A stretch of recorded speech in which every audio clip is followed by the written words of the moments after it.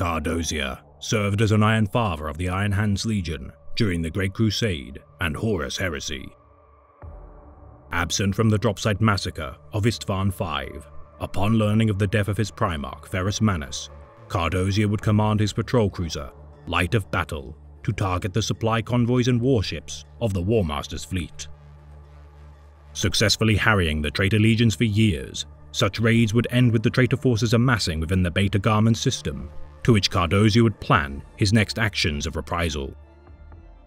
Hoping to make a direct path to invade Terra, the traitors would be stopped by masses of loyalist warbands and legion forces as one of the largest battles of the Civil War erupted.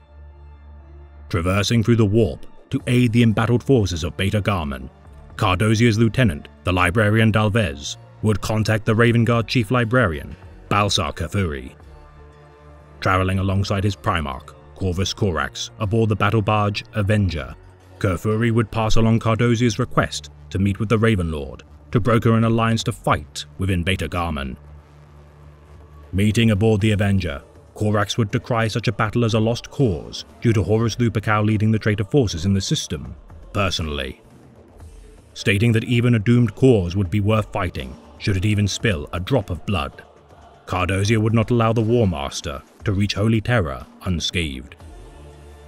Parting waves with the Raven Lord, Kardozia would order the Light of Battle to traverse directly to Beta Garmon and give their lives to stall Horus's forces, even if only for a brief moment.